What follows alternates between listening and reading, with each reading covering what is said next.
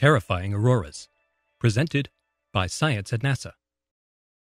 Last month, a cloud of plasma from the Sun hit Earth's magnetic field and sent northern lights spilling across the Canadian border.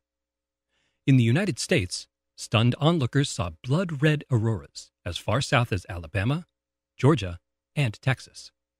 For many skywatchers, it was a once in a lifetime event. On the planet called CoRoT-2b, it could happen almost every night. Located about 880 light years from Earth, the gas giant is routinely blasted with X ray solar flares 100,000 times stronger than anything we experience on Earth.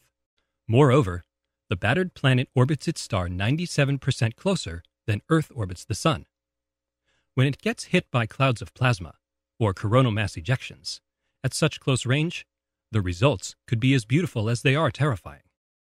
CoRoT-2b probably has auroras visible at all latitudes, even in the planet's deep south, says Scott Wolk of the Smithsonian Astrophysical Observatory at Harvard.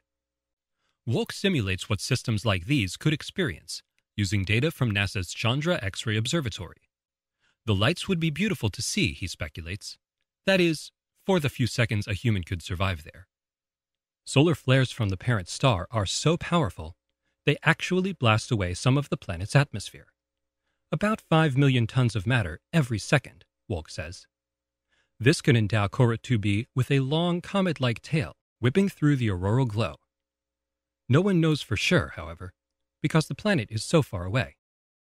Despite its tremendous mass loss, the planet is in no immediate danger of evaporating. CoRoT-2b is losing about 150 million billion kilograms per year. That sounds like a lot, but it is just a drop in the bucket to a planet more massive than Jupiter. It could sustain such erosion for thousands of billions of years. CoRoT-2b gets its strange name from the spacecraft that found it the French space agency's convection, rotation, and planetary transit satellite, COROT for short. A group of astronomers led by Sebastian Schröter of the University of Hamburg in Germany recently conducted a detailed study of the COROT system using Chandra and the European Southern Observatory's Very Large Telescope. The results suggest that CoRoT-2b has a hand in some of its own troubles. The planet, in part, causes the flares. Wolk explains. CoRoT-2b orbits at breakneck speed, making a complete circuit around its parent star in only 1.7 days. Because the planet and star are linked by strong tidal forces, the headlong rush of the planet speeds up the star, causing it to rotate faster than it otherwise would. The spinning of plasma inside a rapidly rotating star creates a more active magnetic dynamo, which in turn gives rise to the magnetic fields that create sunspots and flares.